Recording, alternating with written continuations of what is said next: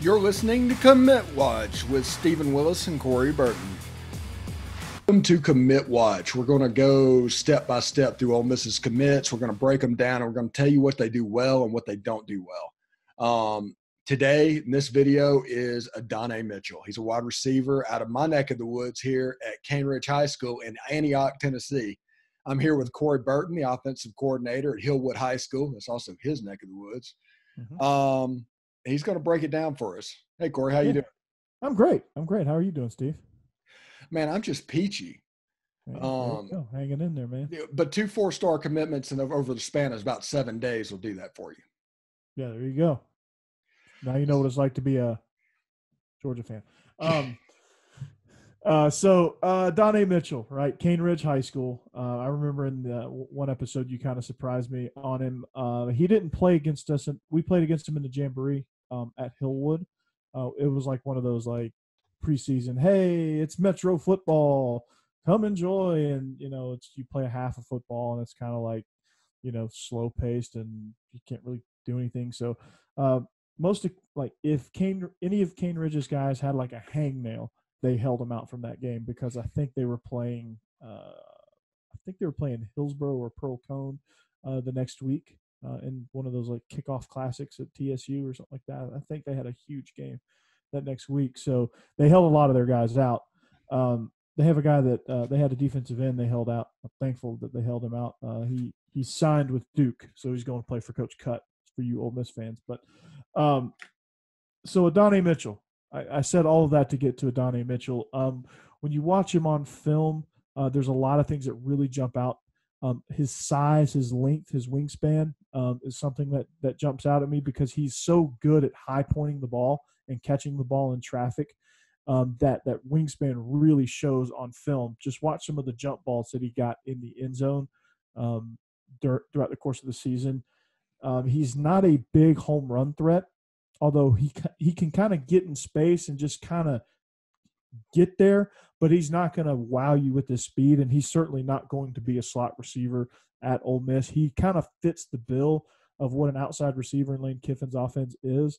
That big, long, catching traffic, jump ball guy. Um, he's he's not a possession guy that they have right now, but he's looking for somebody that can um, you're in the red zone and you need to just throw it up the back pylon and have somebody just reach up and go grab it, that's going to be Adonai Mitchell.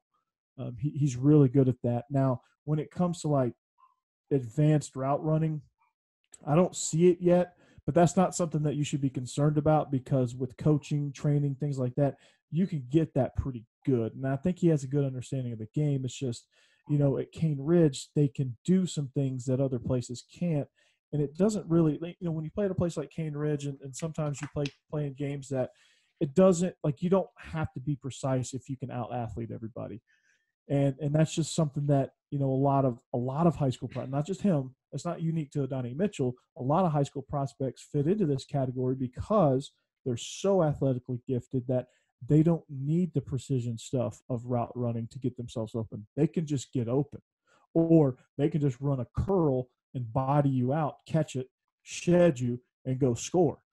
Um, so I don't know how his speed is going to translate to the next level. He can run, so don't get me wrong on that. I'm not saying I'm not saying he's slow by any stretch, but it, it's just gonna it's just gonna be interesting to see how how his game translates to Ole Miss. But I know one thing: he's gonna go catch a ball in traffic.